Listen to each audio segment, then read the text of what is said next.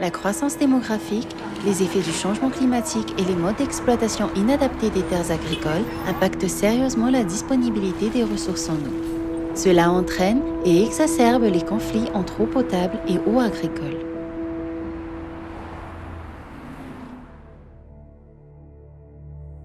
Madagascar est encore plus exposé à ces enjeux compte tenu de l'importance de la riziculture irriguée pour la sécurité alimentaire. Fortement consommatrice en eau, elle est pratiquée par environ 2 millions de ménages et occupe 1,2 million d'hectares, soit 60% de la surface cultivée.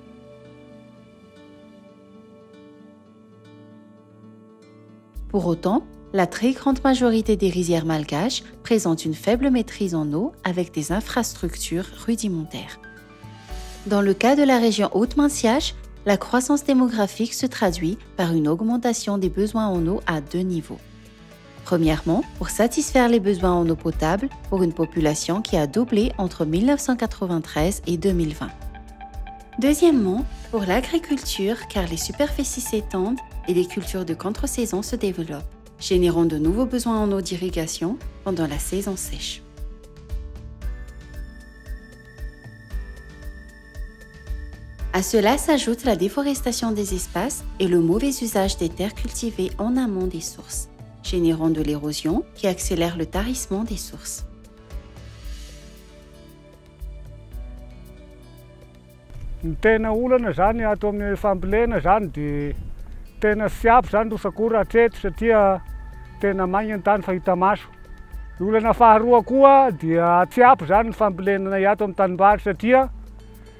lova zany agnay mandova ato agnatin'ny sahandriaka aty ato.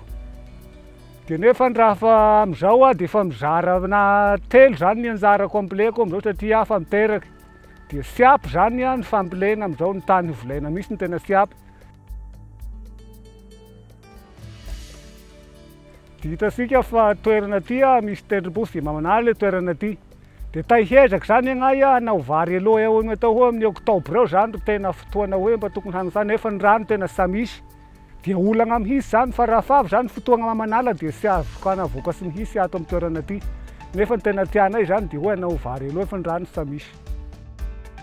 L'accès durable à l'eau pour la population de la région Haute-Manciage est la première des préoccupations du programme Horizon.